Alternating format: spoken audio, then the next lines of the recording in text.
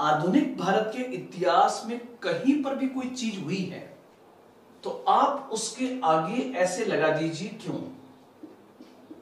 उसका उत्तर आपको मेरी इस क्लास से मिलेगा।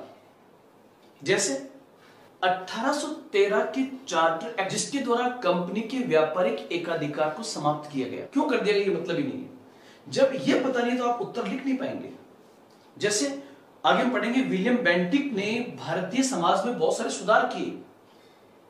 सती प्रथा का अंत कर दिया। क्यों?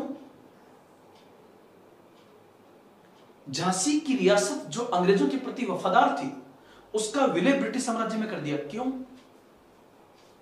अवध का विलय कुप्रशासन के आधार पर कर दिया गया। क्यों? मतलब पूरे आधुनिक भारत के इतिहास में कहीं पर भी अगर कोई कॉन्सेप्ट आपको समझ में नहीं आ रहा है, कोई चीज़ आपको समझ में नहीं आ रही है तो मेरी इस क्लास से आप उसको क्लियर कर सकते हैं।